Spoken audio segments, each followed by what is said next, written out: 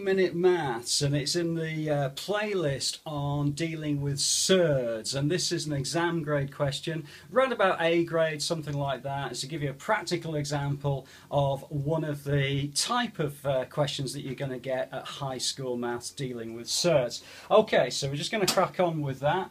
Um, the question is describe 6 root 2 in the form A root B, where A and B are what they call positive integers. So positive integers. Okay, so that's the actual question. I'll write that in the uh, comments section below. Now, the description section below, you can have a look at that for yourself. Um, what we mean by that, firstly, positive, positive numbers. Okay, integers, numbers. Okay, so we can just cross that out. We can say one it as positive numbers. Okay, alrighty. So, the thing about dealing with a fraction, particularly a fraction with a surd, is there's a particular thing called rationalizing the denominator.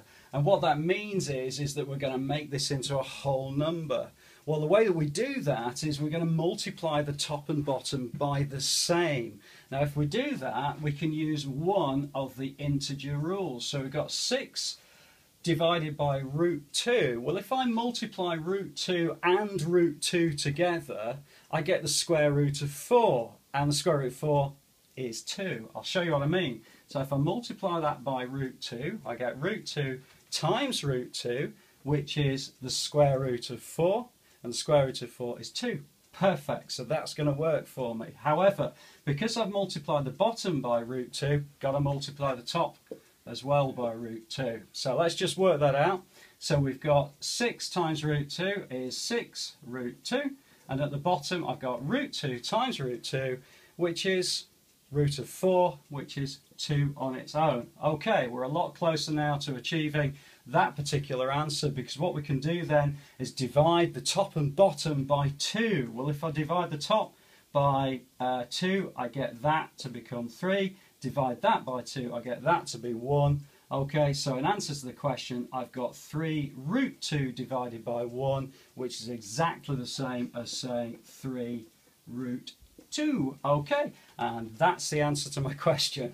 Uh, I hope that's been okay for you. Please do add a comment below, and I'll always respond to it. Uh, this is 3 minute maths. I'm coming up to about 12 seconds to go. Please do subscribe and I'll look forward to seeing you inside the next video.